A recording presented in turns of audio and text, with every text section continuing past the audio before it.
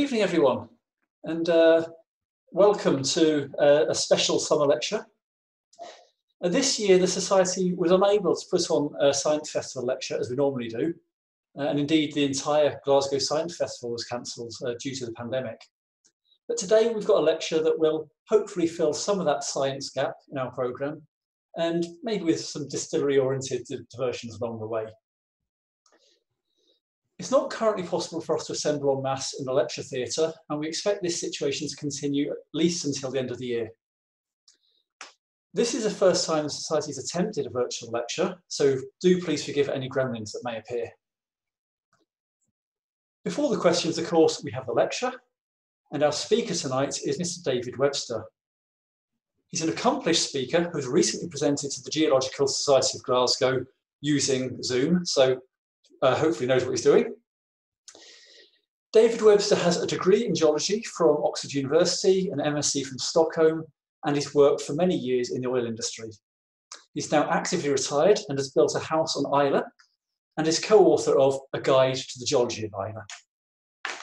Please feel free to pour yourself a wee dram of your favourite Islay whisky while you enjoy tonight's lecture as David takes us on a guided excursion around the geology of Islay. So David, if I could please ask you to share your screen and unmute your microphone, the floor is all yours. Um, can everyone see my screen? Yes, I can. Okay, right. Well, welcome to Islay. Um, we're going to do a quick tour of the of Islay. Um, and we're going to throw a bit of history and archaeology into the mix just to sort of show how geology relates to all these other disciplines. And we'll have a bit of whiskey as well. Um, there's a story between link between geology and whiskey, which I've uh, really enjoyed exploring and researching. So we'll have a look at that as we go along the uh, along. So I think guess everybody knows what Islay is. Southern Hebrides, nearest island of Scotland to Ireland. You can see Ireland quite well from Islay. You get to it on the ferry from Kennacraig, and you can actually get there from Oban as well. So uh, yeah, actually south of Glasgow, believe it or not. People think it's uh, north, but it's not. It's actually south. So we're going to tour a wee bit of Islay. You have to start with the geological map. Uh, everyone likes geological maps because they're beautifully coloured. Uh, geologists always talk about rocks in age order. So the old, when you see a column at the side of a geological map, hopefully it's an age order oldest at the bottom. We always start our stories at the beginning, and um, off we go at looking at all the different rock colours in in the geology of Islay. The oldest rocks in Islay are in the uh, the west, and the youngest rocks are in the southeast, which pretty much mirrors Scotland. It pretty much mirrors the UK. The oldest rocks in the UK are in the Lewis, in Harris and Lewis, and the youngest rocks are in London. Islay is like a miniature version of that. So it's oldest over here and youngest over here. But it's all relative because these rocks here, the oldest rocks, are about, and I'll talk a bit more about them in a minute, are about 1.8 billion years. Now the Earth is 4.7 billion years, so these are quite old, but still half the age of the Earth, a bit less than half the age of the Earth, and the rest of Islay is round about 600 million years, between 800 and 600. So we're talking about the Precambrian. Those of you who understand a bit about uh, the sort of periods of the Earth, this is Precambrian before the major, major uh, burst of life at the Cambrian. So these are all older rocks than 540, which is the beginning of the Cambrian. Um, these are pre late Precambrian. These are the sort of quite early in the Precambrian. So we're looking at some rocks here. Um, and I'm going to move on to the next slide because I wanted to show you the old maps. These are the old sort of uh, late Victorian uh, surveyors. Basically, the whole team of the British Geological Survey surveyed the whole of the British Isles and including a lot of Scotland, obviously, at the time. And these guys are just well known. These are these are our heroes: uh, Charles Clough, Ben Peach, and they did a very, with all their colleagues in the British Geological Survey, produced this wonderful map um, in the in the uh, very very early part of the 20th century, and it is still a good map. There is they were observational scientists. They observed the natural landscapes. They were interested in describing things, and they just drew a beautiful map of of Islay and Jura and the rest of Scotland. You can see the detail in this when you get into it. It's beautiful. So this is a this is a nice map. Uh, I wanted to mention this guy as well. This guy, uh, Battersby Bailey, is famous for he did a sort of revised version of the map and brought it up to date for 1916. he was an eccentric character. This guy uh, mapped Islay uh, in shorts. He thought that long trousers would get too wet. He cut off the toes of his shoes so that he wouldn't get wet feet. He tied everything to his body and his jacket with string and ate his lunch before he left his accommodation so he wouldn't have to carry it. And he did a fantastic resurvey of the map, but it didn't change it vastly, but he got the sort of structure, the structural details of the, of the geology dead on. And this map and his work still stands stead today. Uh, so we have a great uh, regard for for Battersby Bailey's uh, work in the, in the in the very early part of the 20th century. Time, we have to talk geological time. I did mention about 1.8 billion years ago, and the, we're going to talk about the early rocks of the of what you see on Islay, uh, around about 1.8 billion years. Then there's a big gap. We call it the billion year gap before we actually get a lot of sedimentation that we're going to see that's around about the 600, 700, 800 million year, the late Precambrian, which is most of Islay. Then lots of wee, wee things happened right through the rest of the geological time up to the present sort of ice age that we're still in at the moment. So we're going to focus a bit on the Rhinns complex. We're going to have a look at this Rhinns complex at the bottom of the uh, of the column here. We're going to have a wee look at uh, this stuff here and have a quick look at the end about some of the uh, the stuff that happened uh, later on in geological time. So three key periods of time we're going to sort of investigate in three key areas of, of Islay. So here's a sort of uh, Google Earth map of Islay, and we're going to head off to Bruichladdich, which is where I've got my house. I live over just here. Um, so this is the bit I know quite well. This is the Rhinns Peninsula. People who know Islay would know this is the Rhinns. It's almost an island. There's a sort of neck of land, of low land here. This bit of the western side of Islay is the Rhinns. Rest of it is the mainland bit, the towns of Bowmore, Port Ellen, and here in Port Askaig over here. Bruichladdich is a wee, uh, wee village dominated by a distillery. My house is up on the hill behind there. Um, and a very pleasant place to start your geological tour of, of Islay by uh, driving along here, the wee shop, and you can stop here and look at rocks. So, um, oh, I thought I'd go another rock. Anyway, so we've moved on to Portnahaven. I'm going to just, I, I've got a picture of a rock in a minute. It's coming up. There it is. Yes, sorry. This is, should have come after the Bruichladdich slide because at Bruichladdich and at Portnahaven, you see two key rocks in the Rhinns complex, a pink rock and a sort of greeny black uh, rock. And these are the common rocks that we see on Islay, in this part of the Rhinns complex. And uh, if you go to any beach, you will find these red pebbles and these greenish, sort of blackish pebbles, and they belong to these two rocks. 70% of this Rhinns complex is made of this, and it's a gneiss, uh, gneiss, uh, and it's a sort of, uh, once was a sort of granite, a quartz poor granite called a syenite, and it's been and it's got this sort of crude banding in it. It's been uh, metamorphosed and changed, but it was originally an igneous molten rock uh, called a, cy- a, syenite, and it's now being gneiss, ni- a gneiss, a syenitic gneiss. I'll explain a little more about that in a minute. And the other rock is a greenish rock that here it used to be a basalt or a dolerite, um, and it's now been metamorphosed, and it's now a meta dolerite or a meta basite, and it's sort of so you get these red rocks, pinky red rocks, and these sort of greeny brown, greeny black rocks and I like to sort of think of them as sort of like like green apples and red apples. But they're very very common these pebbles, and this is the predominant rocks in the Rhinns complex are these two rock types. Um, we're going to move on. I meant to show you some at Portnahaven, but I've just, in terms of time, I'm going to just move on to Lossit Bay, where the, this Rins complex is, is, is well exposed. And this is Lossit Bay. It's one of my favorite, favorite places on Islay. It's a beautiful bay on the west coast, and we're going to have a quick look at some of the rocks that you see down on the uh, on the south uh, side of the bay here. And it's called the Rhinns complex for a very good reason because these rocks are complicated. There are lots of rock types. When I said it was simple and there was just a pink one and a sort of greeny black one, well, there's the greeny black one, and that's the greeny black one. There's the pink one. Um, but there's a black one over here, a different black one, a different black one here. There's a fold in here. There's all sorts of pink, other pinky rocks here, black rocks here and it's a bit of a mess. It's not nicely layered. It's not uh, structured. Very, very difficult to sort of work out what's going on.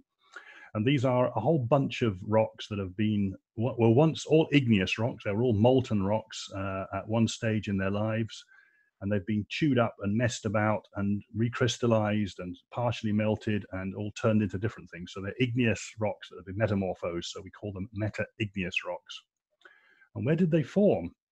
Well, this is a classic sort of uh, diagram that I drew, I stuck in the book, which was to do just to sort of illustrate the main principles of plate tectonics, uh, with mid-ocean ridges uh, creating oceanic crust, which is being destroyed in trenches. It, uh, the, the wet, cold slab going down causes partial melting of the Earth's mantle. Uh, magma rises up and volcanoes appear in volcanic arcs or on continental crust. They'll appear like the Andes or Japan. We believe that the Rhinns complex was formed at this sort of area here in the Earth's crust, probably 30 or 40 kilometers down in the Earth's crust underneath an active volcanic arc, um, which was forming at that time. So 1.8 billion years ago, Islay, the bits of Islay we see today were formed in a, in a volcanic arc uh, formed on the edge of a continent. Now, this continent 1.8 billion years ago was called Columbia. Some of the literature calls it Nuna. It seems to be interchangeable depending on which uh, field and, and school you belong to. Here's a map of Columbia, and it's got the existing bits of Scotland. This is NS is Northern Scotland. So Northern Scotland existed. This is the this is the Northern Highlands of Scotland and Lewis and Harris. They existed 1.8 billion years ago and were a continent. This is the Baltic Shield. This is the core of uh, the Baltic area. This is Northern Rock. Rockall. This is Greenland and this was the edge of the continent. So imagine this is almost like the edge of Asia, and this is Japan in a sort of volcanic arc uh, sitting there. Islay is the star, and these are volcanoes. This these black dots here, and this is a trench here, a uh, an oceanic trench destroying the oceanic crust. And this this was where the the Rhinns rocks were formed 1.8 billion years ago, and we've called it the Malin Arc because it, but it, but the rocks stretch all the way from Greenland to Sweden about 1.7 billion years ago, i.e., not long after, but 100 million years later, that arc had crashed into Columbia. And we call it an accretion uh, complex because it's like added on to Columbia. Continents grow through plate tectonics, they grow and accrete. So when the, we're getting more and more continental crust growing all the time as, as plate tectonics continues to uh, evolve the Earth's crust and create more uh, um, less dense continental crust out of the oceanic crust. Um, we get these things happening all the time. But Islay's here, and this is the southern part of Scotland here. This is the, the Grampian terrane here, which, which has been moved by strike slip faulting and joined up with this subsequently. But at that time, it would have been well south of northern Scotland. The southern part of Rockall, the drilling and the dredging samples on Rockall show that they're the same rocks. Southern Greenland has the same rocks, and southern Sweden and Norway have the same rocks. So this whole band of rock that we see on Islay actually has a lot of affinities with Greenland, Rockall, and um, and and Sweden. And we think his Islay here, right in the middle of this belt of rock here, the Dalradian rocks, which you're going to see in a minute. And it's the basement. It's the basement, or geologists call often called the basement. It's the the oldest rocks you see that all the younger rocks are sitting on and the basement underneath the whole of Northern Ireland, uh, the whole of Donegal, Northern Mayo, uh, right up through Islay, Argyll, right through the Grampians, right through the Cairngorms, right up to Peterhead. If you drilled a hole anywhere in this area down deep enough, you would hit the Rhinns complex. It's underneath all of this area. Yeah, different rocks over here. The Great Glen Fault and the Highland Boundary Fault are major terrane boundaries. They're big geological boundaries between different chunks of rock. That accreted arc went all the way along here and then you could follow it out to Rockall that way in Greenland, and you can follow it this way into Sweden. So this is the a little window. It's the only exposure we have. We got a little tiny rock rock outcrop here, uh, just off uh, Donegal uh, Inishtrahull, and pretty much that's it. There's a few bits over here, but they're a bit changed uh, in the in the in the over here um, in in the in Mayo. But basically, we don't see these rocks, but only on Islay. So it's a unique opportunity to see some really old rocks and the flooring at the floor of part of Scotland. Before I leave here, my first whiskey uh, exploit here. This is a, a, whiskey story because this is the one of the few bottles of whiskey I know of, perhaps the only one there is, with a geological map on it. Uh, Bruichladdich produced this whiskey in 2007 from a 1980 barrel, um, and they put this geological map on it. Um, the reason, and they called this this particular expression the mayor of Islay, because the Islay is a place in Peru, and they invited the mayor of Islay in Peru to come to Bruichladdich to taste this whiskey and meet, meet him here, because at that time they thought that the rocks of Islay, the Rhinns complex, was very similar to rocks in Islay in Peru. In fact, here is a picture of Islay in Peru. It's got it's on the coast, um, has pink rocks and dark rocks, very similar rocks. Um, this is their badge. Um, this is uh, this is where it is in, in Peru. So the mayor of Islay came to came to Islay um, to sample his uh, eponymous whiskey, and here's the map that's on the bottle. Yeah, and it sort of uh, basically tried to illustrate the fact that at that time they thought that northern Scotland and Peru, or that part of Gondwana in South America, were joined up, and Baltica was over here. We now believe that to be erroneous, and that Baltica is actually ne- we are facing Baltica at the time because its part the geology is much more like this than that. Although there are rocks of the same age as the Rhinns in Peru, they're not actually joined up. And there's a spring of water that comes out of these rocks that, that, that, the, the, distillers use uh, to sort of dilute their whiskey from cask strength to bottling strength, and it comes bubbling out of the rocks on the Rhinns complex. So the the 200 the two 1.8 billion year old rock is producing a, a very weird spring uh, that the local farmer is is, is uh, pumping out, which supplies all the water for Port for the at, all the water at Bruichladdich for their uh, cutting whiskey, cutting water for the whiskey uh, from cask strength to bottling strength, and it's also all the water. This special water is all the water used in the botanist gin. Those of you sampled their wonderful gin. We've sampled this water geologically or chemically, and we real, what we've realized is this water, although it's quite soft, it's still below pH of seven, it's under pH of six. It's a little bit higher than the rest of the Islay waters, which are very soft, but a little bit, little bit harder than Glasgow tap water in terms of its pH, but it's got a very high silica content. And this is a strange water to get because all the river water, all the burns, everything in there comes off the rain and it's got this, uh, it'll be just like this. These waters here, the waters you get in the, in the main distilleries. Bruichladdich own bottling uh, process water is, uh, is very soft uh, and contains quite low silica and low uh, alkalis as well. But the Octomore spring is unusual and we reckon it's because it lies on a fault pattern and the faults cutting right through this Rhinns complex. And I think it, here's a picture of the faults. Yeah.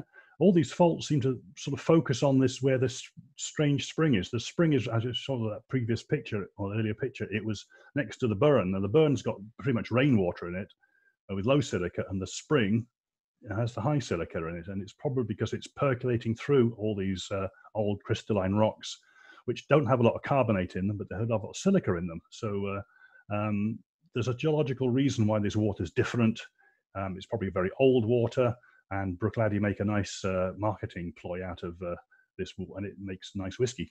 So um, it's a good story, a good geological story for your for your for your whiskey.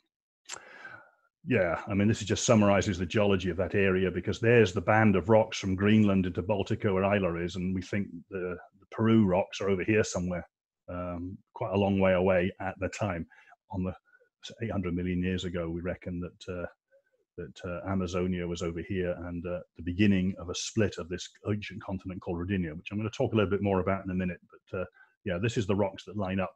We think now, not the Peruvian rocks, but it's a good story, and and the the, the, the rock, the water from the spring is very different geologically to the rest of Islay's water. So we've uh, had a look at this. This is the Rhinns complex, just sort of put it all into perspective. Uh, this is the these are the the gneisses and the the meta metabasite rocks, the, the pink and the green rocks here, and they're overlain. excuse me, by a whole series of rocks belonging to what's called the Dalradian, which is a whole group of rocks, uh, maybe 20 or so kilometers thick in total, uh, deposited over a 200 million year time frame on the edge of this Rodinia continent that was splitting up. So Rodinia was the supercontinent that existed at a thousand million years ago. Remember, Columbia was the supercontinent that existed two billion years ago. We've got uh, this new supercontinent Rodinia, which is breaking up, and, and a whole load of rocks are formed on the edge of it, um, which is called the Dalradian. And the Dalradian rocks do cover the pretty much Scotland from Islay up to Peterhead and they sit on top of this Rhinns complex, which, as I've just said, only occurs on I only exists on Islay as exposure, but it's underneath everything. And all these sort of rocks are, exist uh, along strike along the, in Scotland. So we're going to have a quick look at this one here, and then we'll move up to look at these and these at, at the top. So I just wanted to take you to Kilchiaran Bay. We were down at Lossit Bay earlier, and Bruichladdich was over here, and Port Charlotte was here, and that spring was here. And we're just on the, the coast on the far west of Islay at Kilchiaran Bay. And here's a sort of uh, badly made uh, uh, panorama of Kilchiaran Bay. And we've got here uh, these what we call meta sediments. These are meta sandstones, sandstones that were once uh, sand, and then it became sandstone, and they'll be metamorphosed to um, to become uh, quartzites and meta sandstones, and then we've got mudstones in here, which are slates, and then we've got more sandstones over here. And there, this is the pink rock here. It's a bit dirty, and when you look at it, you can't see that, but when you get there, it's pink. This is the pink rocks. This is 2 billion years old, 1.8 billion years old pink gneiss. And over here is 800 million year old quartzite. So there's a billion years of geology missing or time missing in this billion year gap. And this is Alistair from Stockholm standing straddling the billion year gap. And you can walk on a low tide, you can walk into this and sort of put your hands either side of the gap where there's a billion years of Earth's history sort of missing between the, the this is quite called the Kilchiaran shear zone. In fact, your picture was of, of, of, of, it here. You can see that all on the on the Earth satellite photograph here. These rocks here are the gneisses, and these rocks here with a lot more structure and foliate lineation here are the meta sandstones of the Colonsay group. And that picture was taken in here. Um, and the shear zone is offset by this fault here, but this Kilchiaran shear zone is a very prominent feature separating the 2 billion or the 1.8 billion year old rocks of the gneiss here from the meta sediments on this side. And that, uh, that line is quite prominent. It's a lovely walk down the coast here, all these uh, little tidal inlets and tidal bays where the shear zone runs through here. Because it's a shear zone, it erodes out from the harder rocks of the, of the quartzites here and the pink gneisses here. There's a sort of zone of erosion along the coast here, and it's a lovely place to go. Um, further north, the these rocks turn into uh, above, slightly above these rocks, uh, the Kilchiaran Bay, we get these what we call turbidites. These are uh, group turbidites where they're deposited in very deep water um, with finding up cycles of sand to mud and sand to mud deposited probably during earthquake times. So there's a whole lovely succession of rocks at, at, from Kilchiaran to Saligo, which form the Colonsay group, which go to Colonsay as well. And they're all around about 800 million years ago, and they're the first deposits uh, formed as Rodinia broke up. So that's the map I showed you earlier. Um, there's Islay in this sort of growing split. You know, the split is starting, um, a bit like the Red Sea today. Um, the Red Sea is splitting uh, Arabia from Africa and, the, and breaking up the African Asian continent. This split started to break up the Rodinia supercontinent and uh, this this happened and got bigger and bigger as the Dalradian sequence was deposited. We got it was in a small rift and it got into a wider rift and eventually became an ocean basin that separated uh, Laurentia, which is sort of basically North America, Scotland, Greenland, from Baltica. Um, so we finished over here. Um, just checking how we're doing for time. Um, yeah, we're okay. Yep. Um, so we've, we've been here, we've been here, we've been here, we've looked at the Colonsay group, which is the green stuff. We've looked at the Rhinns complex, which is that. I'm now going to take you over to the sort of uh, sort of uh, central part of Islay, to a place called Ballygrant um, here, and we're going to look at some deposits of rocks in this area and up in here. And at the end of the talk, we're going to end up down in here. But we're going to start at Ballygrant, which is right in the middle of the, uh, the map here. And the, the rocks we're going to look at are rocks in the middle of the succession, yeah, around about 700 million years old. Um, basically, we're going to look at these three types of rock here, the Lossit limestone, the Port Tillite, and the Bunnahabhain dolomite. These limestones are like a sandwich of rocks that, in, that, that are limestone carbonate type rocks. Uh, dolomite is a magnesium calcium carbonate, whereas limestone is a calcium carbonate. And it's got this thing called the Port Tillite in the middle, which is a glacial deposit. So we've got warm water limestones sandwiching a cold glacial deposit. And this is the, the, uh, the alleged snowball earth signature on Islay. So I'll have a quick look at this. Ballygrant's a lovely wee little place. Um, it means Ballygraina, which is Grana. I can't get the Gaelic right, but it means it was the Sid town of the grain originally. Um, Ballygrant is in the middle of Islay, and it was uh, it was well known for its uh, uh, fields of wheat and barley and oats uh, uh, in the in the past.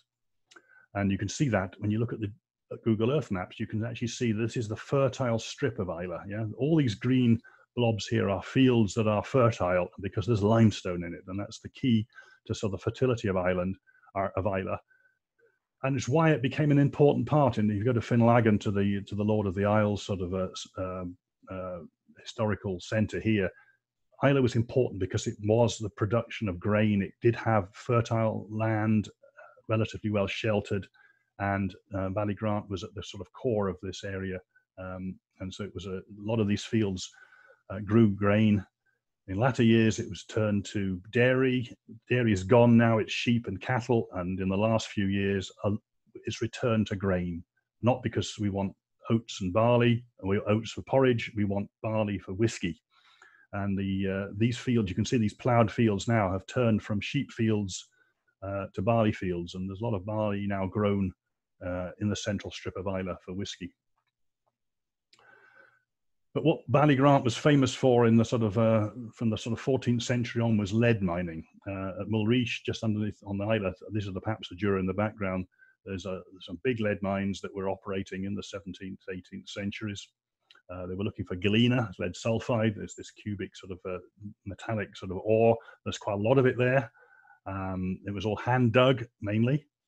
Um, there was a smelter at, at, at, at Port Askaig um, in the in the 18th century here. Um, these are sort of old engravings of that. Um, so it was smelted on the island and exported. The lead was exported, and there was a byproduct of the lead mining was silver. And um, at Ballygrant, at the quarry there now, there's a the Gartness mine that was famous for the sort of byproduct. It was actually more mined for the silver in it than the gold. And this is a goblet that's actually in the um, Kelvingrove collection, and it says on its little label Islay Silver. And it's uh, made about 1780. So it, there's silver on Islay, or there has been. The, the mines at Mulreesh are still available. You can go and have a pot around these things. If you're into, into, into art, industrial archaeology. There's a, a washing pool pond. There's big drainage adits. There's shafts and ladder shafts. There's um, and a lot of uh, miners were imported or immigrated immigrants came from Wales and from Cornwall to, to, to work the mines, and there still are Edwardses and Griffithses uh, on the island that are descendants of these original, uh, some of these uh, Welsh miners that came to help uh, exploit the lead. Came and went. It was a boom and bust economy, um, and there were sort of all sorts of uh, uh, boom times and poor and bad times. And I've managed to pull together from all the records and um, the sort of amount of lead that was produced uh, in a sort of each 25 year period from the historical record. Now, there's not much before the sort of 16th century, but uh, there were certainly, you can see there were periods in the history records when mining investments were made and then it all tailed off and more investments were made and it tailed off. In fact, there was very little, very little, no more lead was mined after about 1880 on Islay. The geological connection is that the, what because there was lots of talk in the in the historical record about whether the Vikings way back before this and even in this part of the before the historical records whether there had been any lead mining prior to the 15th, 16th century. And uh, an enterprising PhD student in Edinburgh uh, did some work on uh, on uh, sediments in the various lochs that these mines drained into to try and see whether there was any sign of lead pollution um, and integrate the lead lead record in the peat cores to the pollen records and to other dating things so we can actually try and date any uh, geochemical anomalies in the record and this is what he found in the various lochs and, and tried to match the, the, the geochemical anomalies with the um, with the mining with the mining records and there's a crude collect, connection here but Loch Lossit seems to have uh, evidence of mining that's before any historical record, around about the beginning of the 15th century. So there's um, there's sort of a, a nice tie-in between history, archeo- archaeological history of um, industrial archaeology history, and sort of uh, modern geological techniques to try and to try and tie the whole story together. Uh, they didn't find anything a lot lost. It was any earlier than this, so we, we, are still not convinced that the, the Vikings mined lead on Islay. We know the Vikings are on Islay. Virtually every settlement township has got a, uh, a Viking name, but uh, we don't think they we're into the lead. Nowadays, Ballygrant has a huge quarry. The limestone is well used on Islay for roadstone. Um, every track on Islay has a Ballygrant limestone, uh, and it's quite a big operation from Dunlossit Estate to quarry this limestone out in Ballygrant. And the mine, one of the mines, the silver mine, actually cuts right through here. So I've had a scrap around in here trying to find some silver, but I haven't found any yet.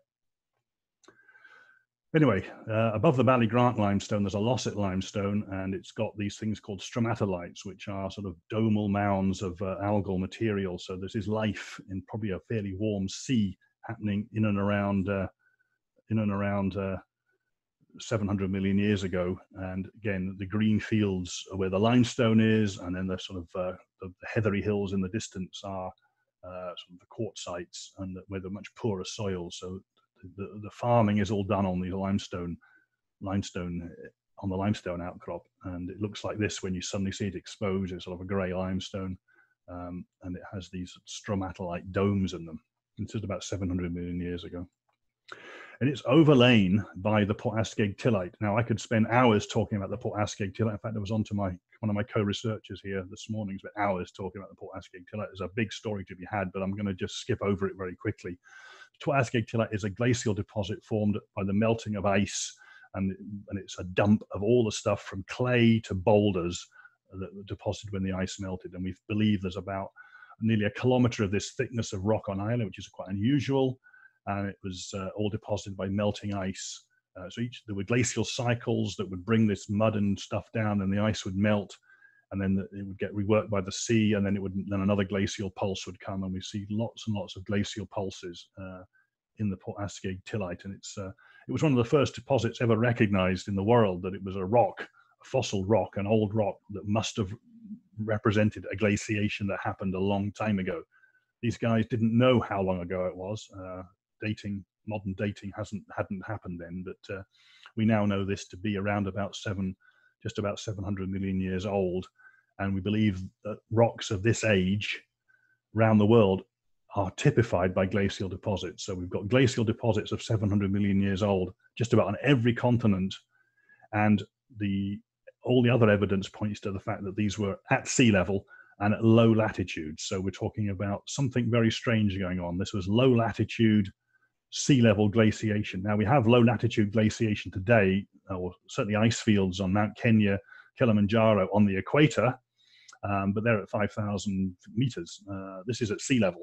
So if we had ice today at sea level on the equator, we would be pretty worried about the climate and how the climate had changed. So this was what was happening. These were ice fields extending to sea level on the equator or near the equator. And it's obviously been termed snowball Earth. Probably many of you have heard of this term. Um, when the, we believe, it's believed that the uh, Earth completely froze over 700 million years ago, and the deposits of the Port Askaig like one of one, one of the first uh, deposits in the world to be recognised to be part of this uh, phenomenon. Now, how the Earth got into it and how the Earth got out of it is a subject for another lecture, but nevertheless, uh, Islay is a is a key point in in the story of Snowball Earth. I've just shown another map, a different map, different a different author of Rodinia at about that time. Um, and I think I'm going to click again. Scotland will appear. Yes, there we are. There's Scotland. On the, it's still on the edge of this uh, rift. It hasn't turned into an ocean yet. We're still in this rift. There's Laurentia, or that's North America, northern North America. There's Baltica. There's Amazonia, and it's Peru bit still over here.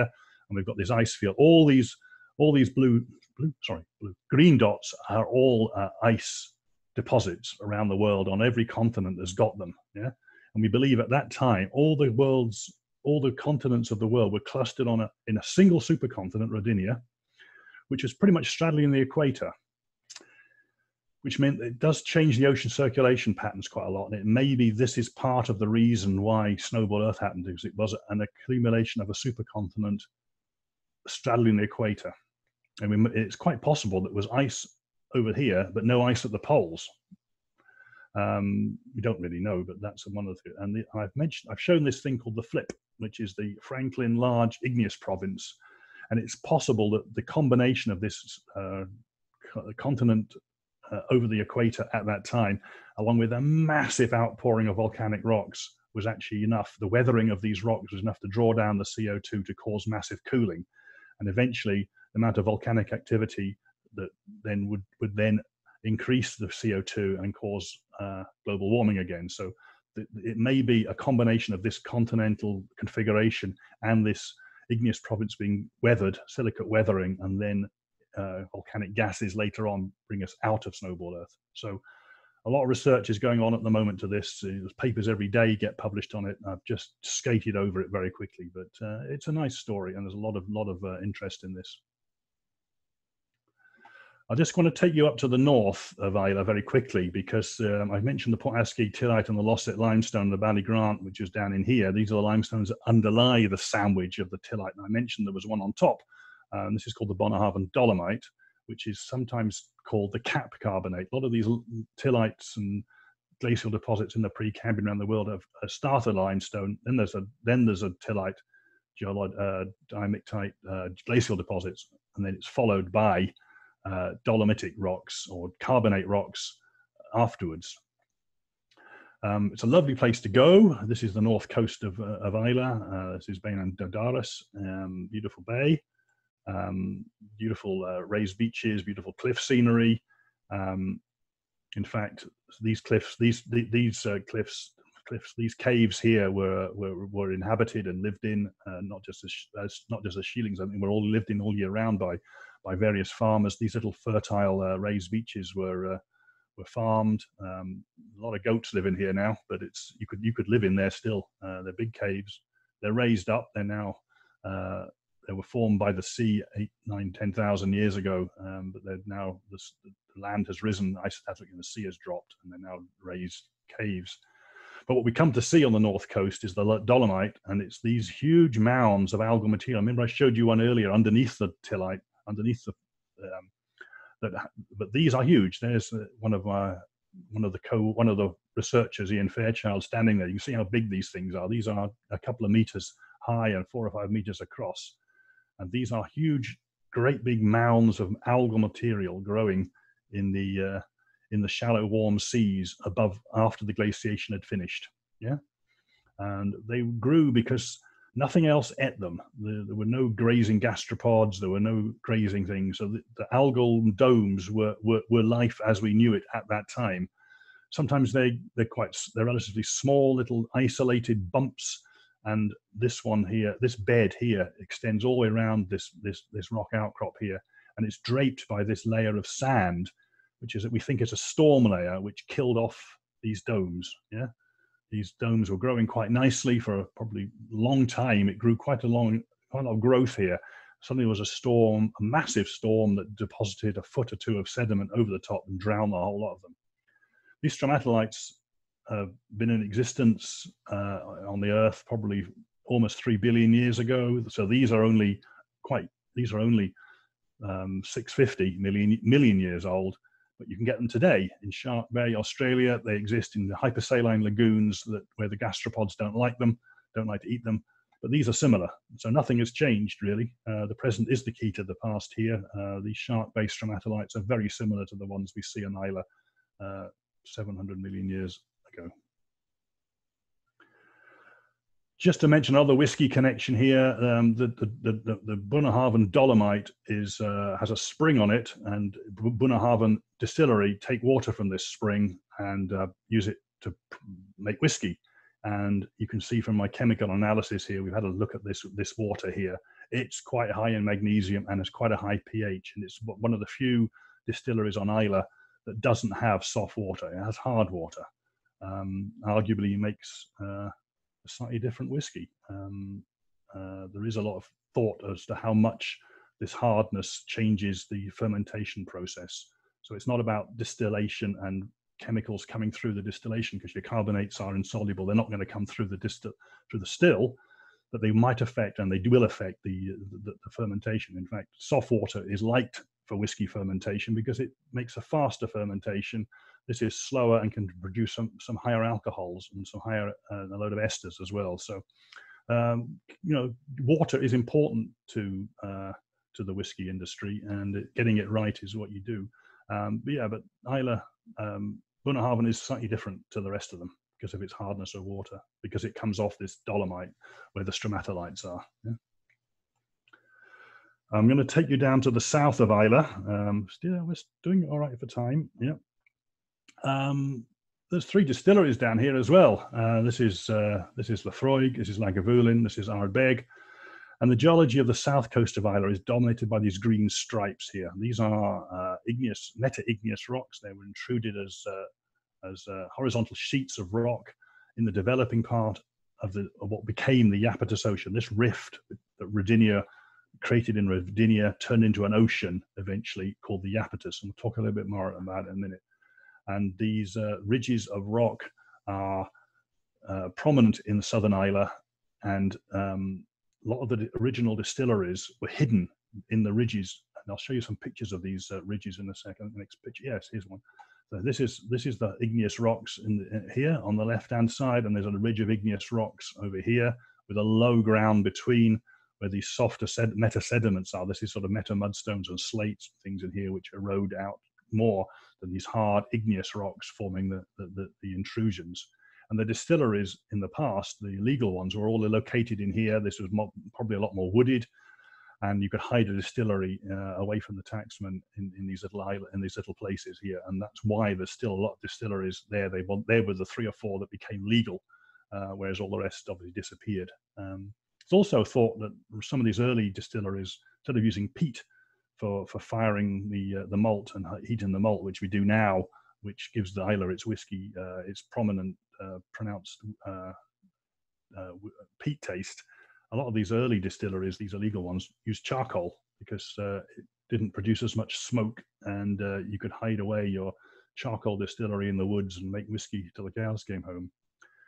These are the sills. These are the igneous rocks here. This is meta-igneous rock here, and it's been quite altered at the bottom here. These are the meta-sediments here that it's intruded into, and there's been a lot of work that some of my other researchers on Islay are doing is to understand the chemistry of these and how much carbon dioxide is created in the mountain building process that contributes to the carbon cycle. So another sort of another study that's all about Earth climate and Earth history and how, how geology and climate are int- intimately related. And uh, yes, it's a sort of a, it's an interesting uh, study area.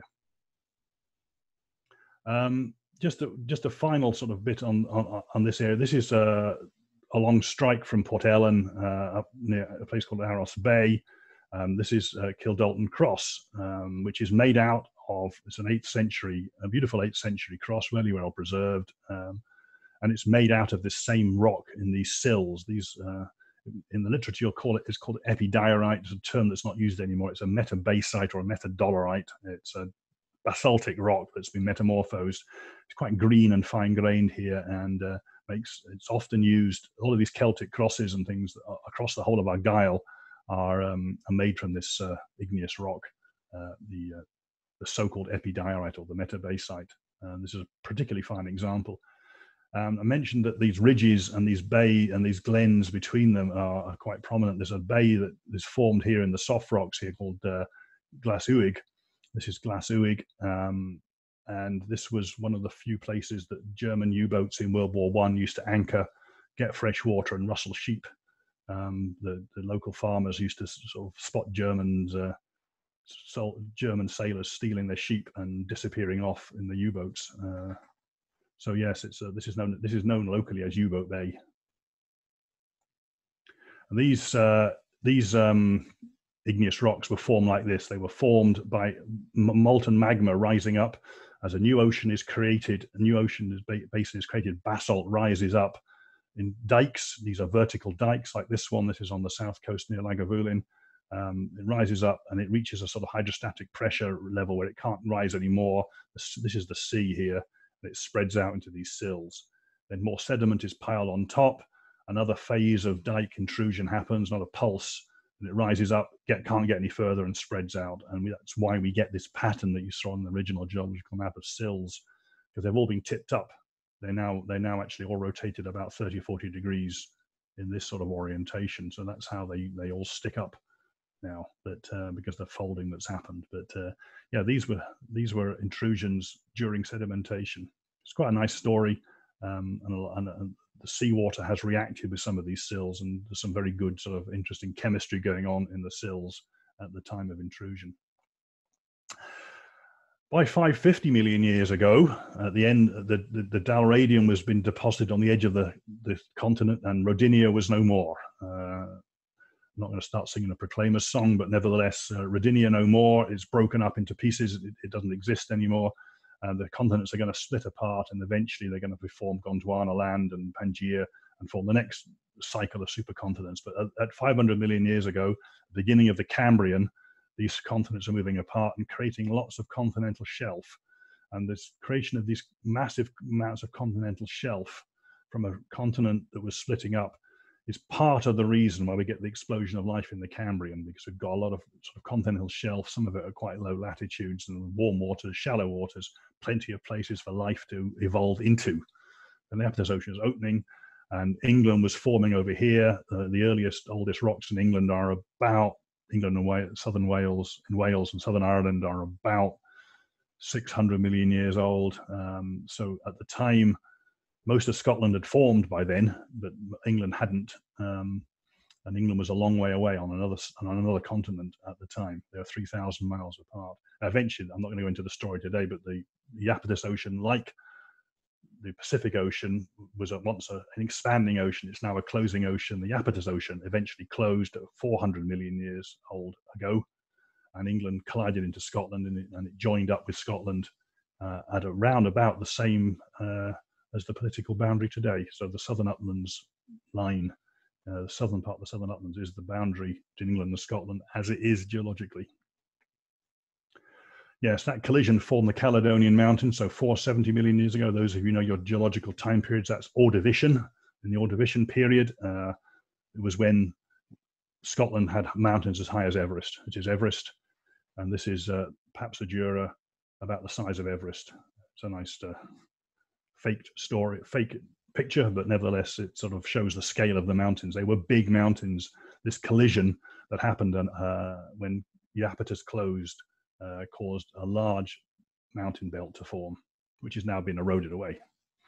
And what we see today are the stumps of these mountains here. These are the folds I showed you in the first picture. So the the crumple, the, the collision caused crumpling of the rocks, folding of the rocks. You can see these rocks are sort of bent, bent and folded. This is at Saligo Bay. There's a lovely fold here in the rocks here. So this is uh, folding wasn't too dramatic on Islay. It was uh, it was quite uh, further as you come nearer the collision zone to sort of uh, Loch Lomond area, you get a lot more deformation, a lot more f- tighter folding. But the, these folds were like gentle rocks in the carpet here. They were quite gentle. Just to sort of move on geologically um, from the Ordovician right up to the tertiary. This is this is 50 or 60 million years ago on the north coast of Ireland. We get these thing these dikes. Remember, I showed you some dikes earlier. These are vertical sheets of igneous rock intruded into the sedimentary rocks. So the sedimentary rocks are this is the Bunnahabhain dolomite again, um, and then you get these massive cracks forming, and igneous rock, molten rock, forcing its way up into these into these cracks. Um, they're quite on the north coast of Islay. They're uh, they're uh, beautiful sort of a very stunning sort of feature of the of the north coast because they obviously erode less than the the dolomitic rocks Dol- dolomitic rocks uh, are surrounding them. And this all happened at about the time of the meteorite collision at the end of the uh, at the, at the end of the cretaceous. So um, around about 60 odd 65 million years ago um, there was a, a, huge amount of volcanism going on in scotland uh, in a lot, of, a lot of it in fissures and a lot of these fissures are now occupied by dikes which trend this way and the dikes i've just shown you trended this way across uh, across Islay, across Jura, across there.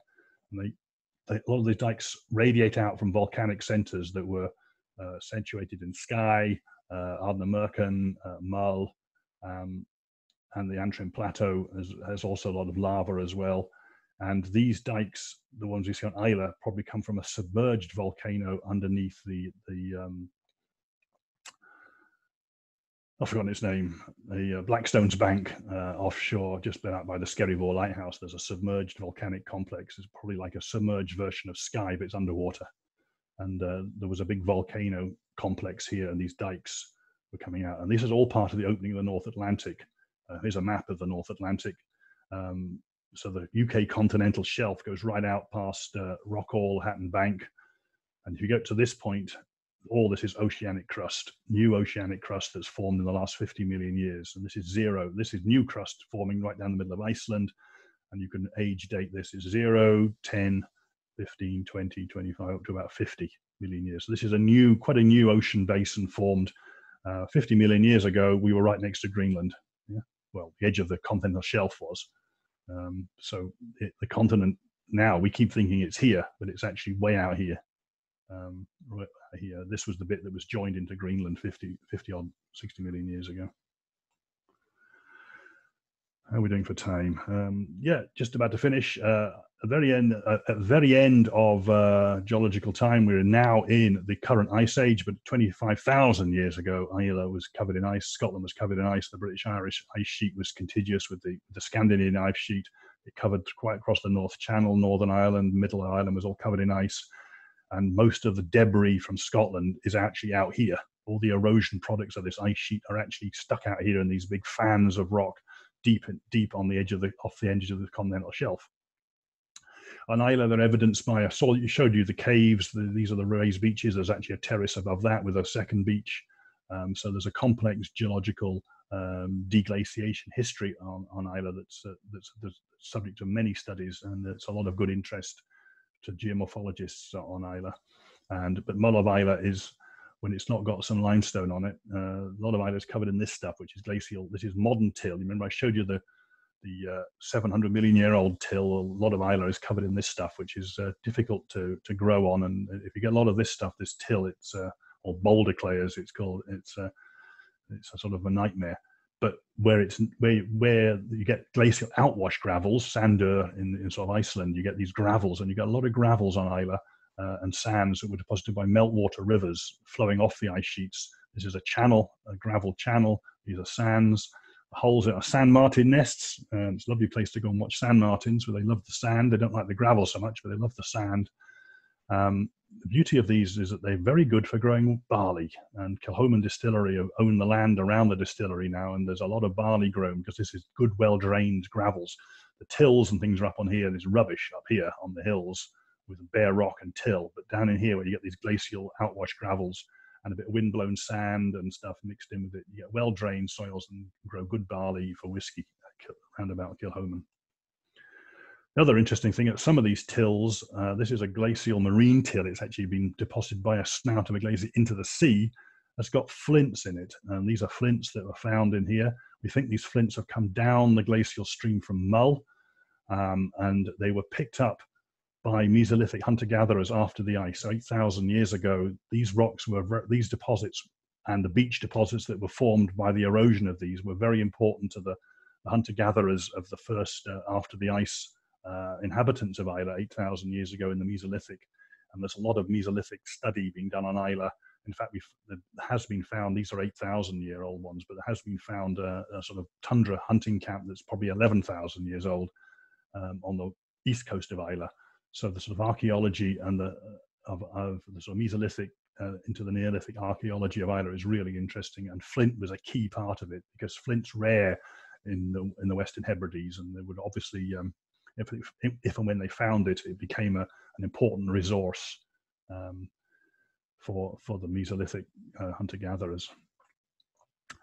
So that's pretty much it. Um, as I say, I have written a book on it with uh, Roger and Alistair. Um, covers these excursions. We've been up, we've seen most of the rocks on these excursions. I am in the process of writing volume two to cover some uh, nice excursions on Jura, three on Colonsay, and a few more on Islay to sort of complement it. So, uh, and I might rewrite and re, re reissue uh, the first edition of this. Um, this is a 2017 updated edition with its whiskey recommend. Each walk has a whiskey recommendation, um, and that's where we are now. Uh, time for a dram. Thank you very much.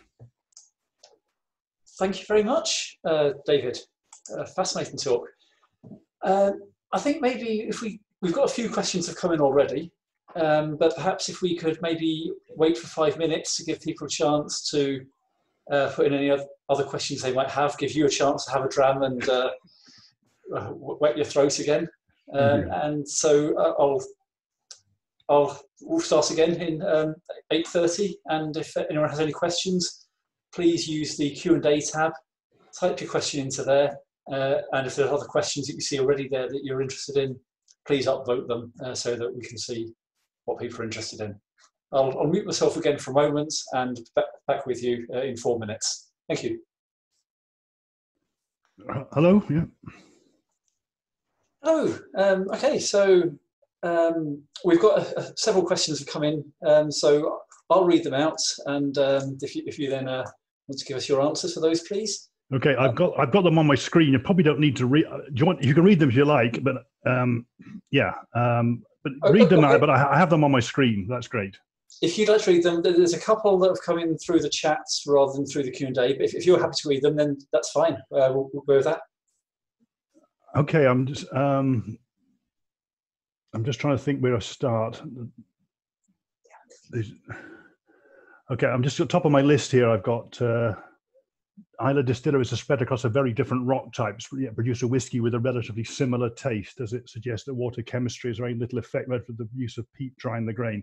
That is an interesting question. I mean, the peat drying the grain is the main reason for the uh, the peatiness of Islay whiskey. Obviously, some whiskies aren't peaty on Islay. Bruichladdich uh, standard whiskey is not peated, neither is uh, Bunnahabhain so yes, the, whisk, the, the, the, the peating and the barrels have a huge effect, more so than the water chemistry. But I think the water chemistry is interesting, and uh, um, yes, uh, it's.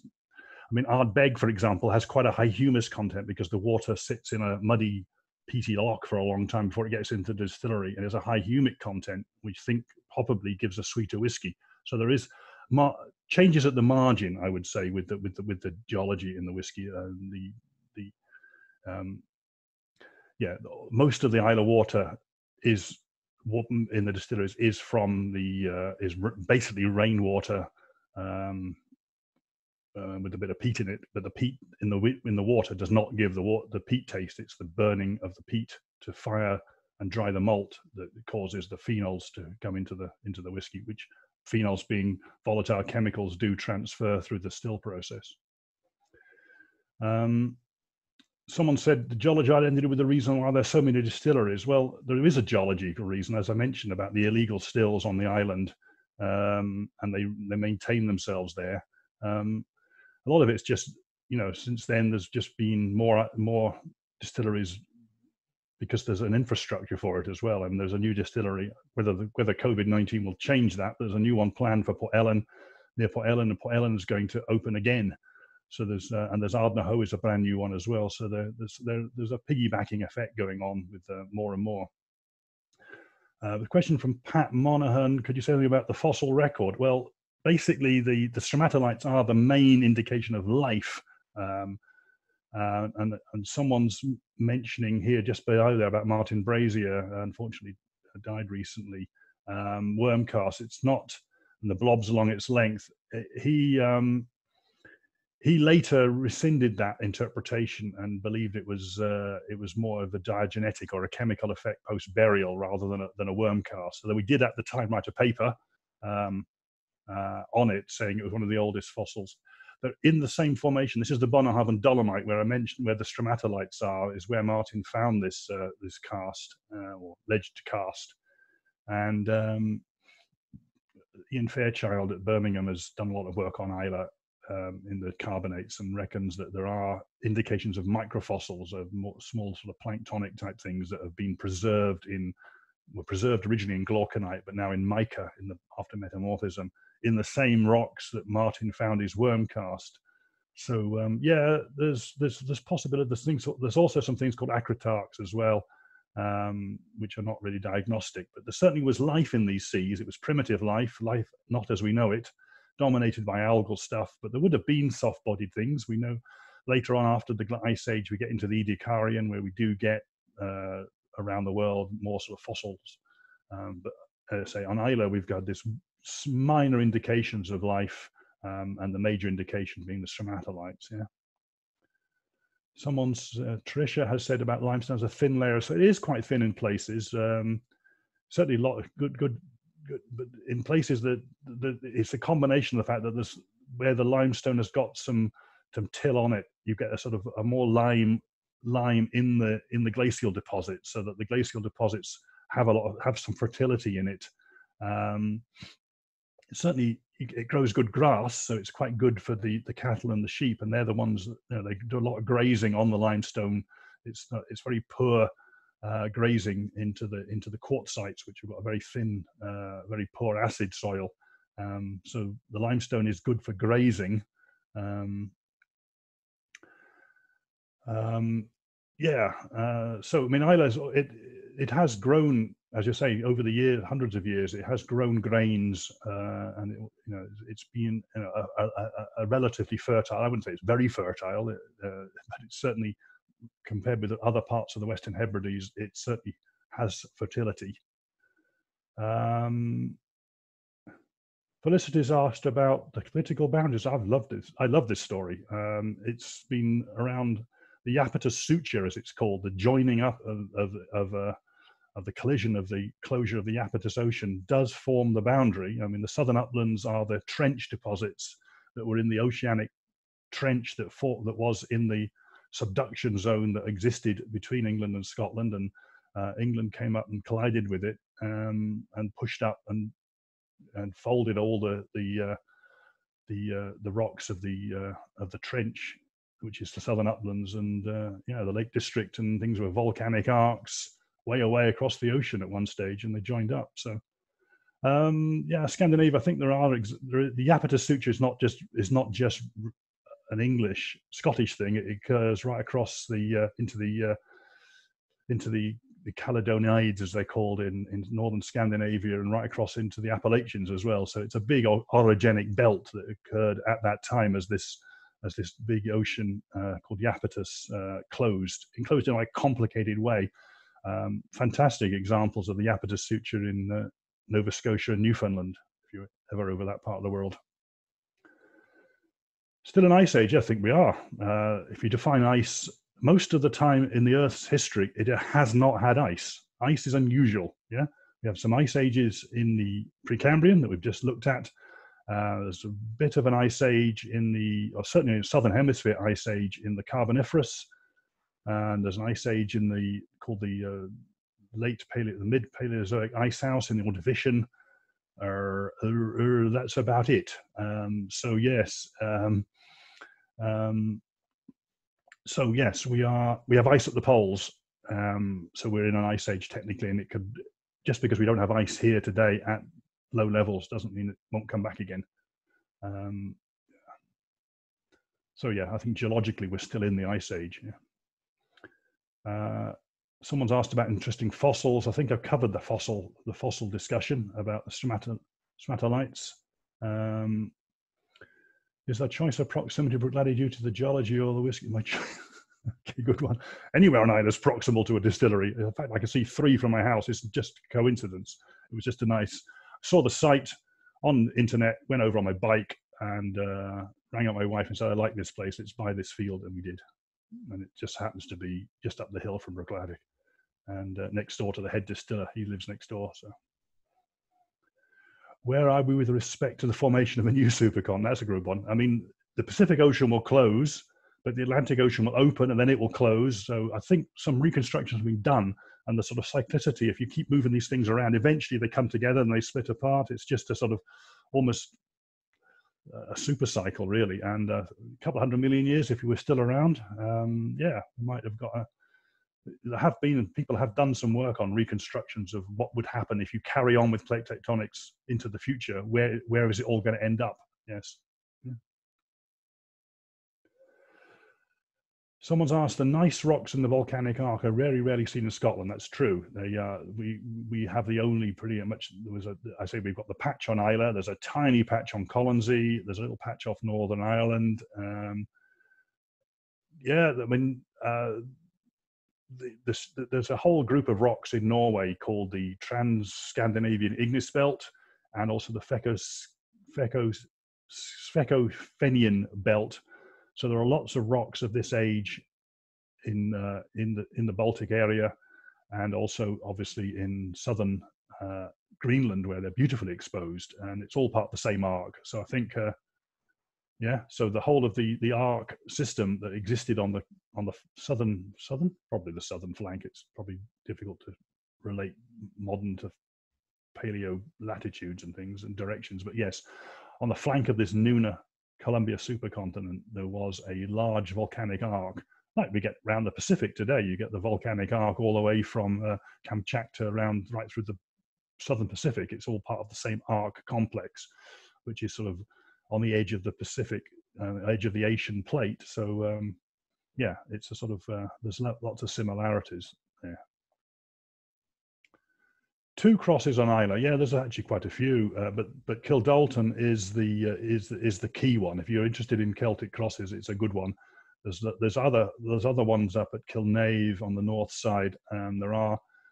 If you want to get into this, uh, there's a lot of publications on the archaeology and early history of Islay. Um, David uh, Caldwell from the National Museum Service is, is your expert on this. He's written some really good books on on the on on that part of the on on the sort of uh, medieval to uh, recent history of Islay. There's a, he's got a gazetteer and a thing called um, Lord of Land, Lord, Land of the Lordship, um, and yeah, if you're really interested in in Islay archaeology and early history, there's stuff there. And if you're interested in the Mesolithic, Steven Mithen has written some fantastic books. And is and if you look at Islay Heritage, um, you've got a lot of information there on Islay Heritage's website about uh, and then Finlaggan as well that David's very very much uh, involved in. Dinosaurs. Everyone asked dinosaur questions. No, but but um, I meant some of the slides I took out of the lecture, realizing it was going on for ages. I did take them out just before I left, before I started.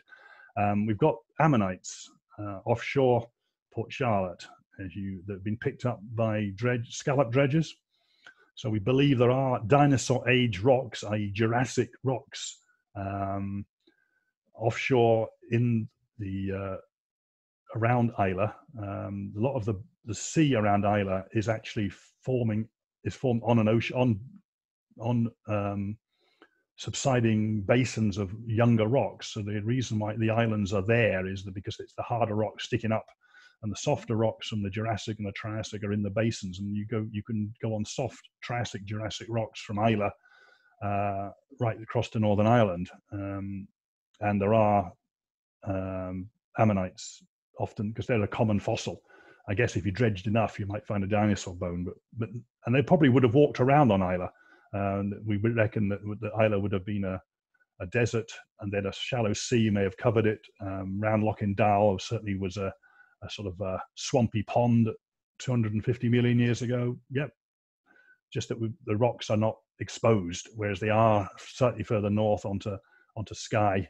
Um, uh, yeah, so we do get uh, you do get some fossils there. Um, erosion 700 million years drew down the CO2. Yeah, that's interesting. Silicate weathering. Um, there's a lot of silicate weathering of turning of clay and then the, the formation of carbonates in the sea um, from the carbon, from the car- calcium and the sodium that have come down off the mountains. So the, the, whole process of weathering, the weathering cycle, if it's very intense, will draw down CO2 and sequester it into limestones. So eventually ends up in the limestones in the sea. Um, so if you get that sort of process, a lot of weathering going on, a lot of clay, clays being formed from feldspars, you will end up with a, a lot less CO2 in the atmosphere because it's then absorbed into and sequestered into limestone. Um, I've done the dinosaur one. What's going on with the small sets of rocks in the coastal part of Kildalton area? These are the di- These are the sills. Remember, I was saying about the sills that form the high ground. Um, so these protruding lines of rocks come out of the Beg Distillery. They are these uh, igneous or meta-igneous rocks, the sills that were formed uh, of igneous basaltic rock that was the precursor to the formation of oceanic crust in the Iapetus Ocean. So these protruding lines of rocks, they, they circle and enclose sort of Port Ellen Bay. They're a nightmare for the Calmac ferry captains to get in to Port Ellen because of these uh, skerries that are these uh, submerged lines of, of the hard rock that, uh, that form these uh, that are formed from these sills or these in, uh, igneous intrusions, and they're they're they're all around uh, all around that south coast. It's around Ardbeg, Laphroaig, Lagavulin. The bay, Lagavulin Bay, is formed from the soft rocks, whereas the, the edges of the, the the, the, the promontories on the edge of the bay that form the, the mouth of the bay are the hard rocks that once held uh, Duns and uh, Castle is still there um, as a prominent thing on the hard rock. So the geology uh, really does affect the uh, the topography and affects the way that humans have used the topography to to build and live on. Islay silver, yes, but gold, no, we haven't got any gold on that. Not that we know of. Um, yeah, yeah, be nice if we was, but I think silver's silver and some zinc uh, and uh, are associated with the with the lead. Um, there's some sphalerite and some chalcopyrite, uh, copper mineralization, but no gold. The question really nice: Are there not so many layers of Dalradian rocks deposited in Norway? Oh, yes, I, yes, I think the, the underneath the Dalradian equivalents in Norway, there's more gneiss than yes. You see deeper into the into the sort of core of the Caledonian Mountains. There are there is.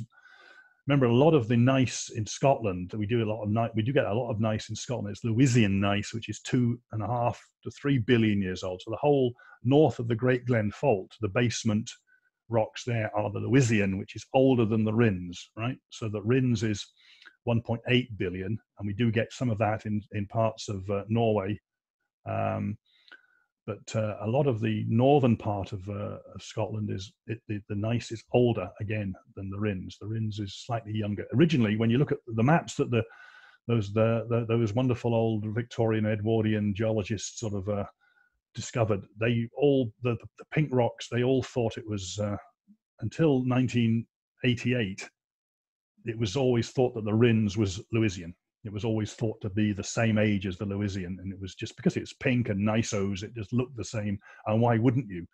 It wasn't until modern uh, radiometric dating using uranium and lead in in zirconium, uh, in, in, zircon minerals, in the 1980s, uh, early 90s, that we actually realized that the Rhinns was significantly younger than the Lewisian. Still old, still very old, but certainly younger than the Lewisian you have liquid gold in abundance. Why would you want the metallic stuff? Well, aren't you? Sounds indeed. Thank you very much for this, David. that's a, a phenomenal talk. We've, we've not done uh, a virtual lecture before, and uh, this has gone really well. There's very many um, complimentary comments uh, in, in the chat here from people who've enjoyed the talk. Uh, it I've, I've had a taste of Islay before from its whiskey. I've not never um, had a taste of it through the rocks before, um, and I, I, found this absolutely fascinating. Learned a lot from it, and certainly have to go and visit it now. I think. Um, so thank you very much for doing this. We would normally uh, give us a small token of our appreciation um, in, in, the hall, but I'll, I'll ask uh, George to send something out to you uh, just as a small token of our thanks. Thank you to, um, to everyone in the audience, um, it looks like this is how we're going to be doing um, lectures at least until the end of the year, I would imagine. Um, so if you have had any problems with this, anything that you think has worked well, anything you think could work better, please do let us know through the chat. Please do let us know. You can email uh, George at info at royalphil.org and uh, we will take on board any comments and try to ensure that things work as smoothly as this for the rest of our lecture series. On that, uh, thank you very much.